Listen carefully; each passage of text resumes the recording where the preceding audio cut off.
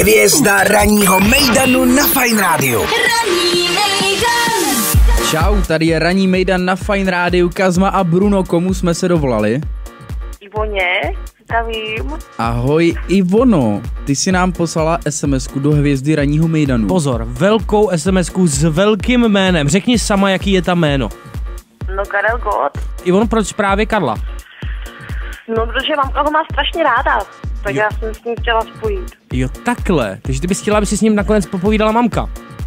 Ano, ano, no, kdyby to takhle šlo. To, jestli to jde, tak to zjistíš společně s náma, protože my teď jdeme společně Karlovi zavolat a ty se ho můžeš zeptat, jestli zavolá tvý mámě a popřejí hezký den. Určitě. Dobrá. Tak to zkoušíme. Jdeme na to.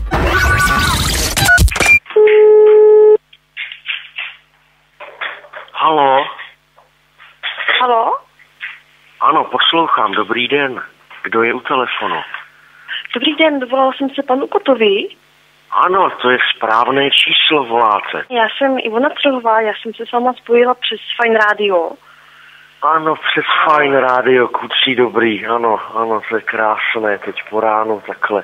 Já trošku se omlouvám, já zrovna snídám, protože večer jsem se vrátil ze svého podzimního německého turné, tak dospávám ještě trochu ten včerejší rik ve Friedrichstadt Palastu. Tak povídejte. A já jsem vás chtěla poprosit, jestli byste zavolala mé mamce, jenom mi popřála pěkný den prostřednictvím tady toho rádia. Jo takhle, že bych ještě já zatelefonoval vaší máti. Počkejte, ale v kolik hodin, nebo jak byste to nejlépe vy... O, klidně teďka hnedka, nebo jak máte čas. Karle, my tě v tuhle chvíli zdravíme, tady je ranní Mejdan, Kazma a Bruno Fine Radio. Kucí, kucí, já jsem rád, že teď do toho vstupujete, protože já nemohu najít volný papír. Mám tady jenom samou pětitisícovku, dvoutisícovku, nic čistého. Eh, Výborně. Vtipný takhle po ránu to umí jenom Mr. Karel Gott. Eh, Prosím tě, Ivono, dej nám teda číslo, na mamku my zkusíme zavolat. Jo, jo, jo, takže můžu. Mhm. 605, Ano. 38. Dobrá, tak my ji brnkneme, ona s tím počítá nebo ne? Asi ne, viď? Uh, ne, ne, ne, neví o tom. No, To tak bude velký překvapení. velký. Karle, pokud nejste tedy proti, No tak podívejte se, já už, když už jsem vzhůru a v té náladě, tak klidně ještě mamince udělám po telefonu radost. to je hezký. krásný. Výborně. Nádhera. Mistr je připraven, Ivono ty taky, tak jdeme Jo, jo, jo. zavolat tvojí mámě. Dobře. Ivona.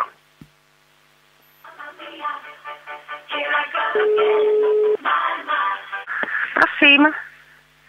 Dobrý den, u telefonu je Karel Gott.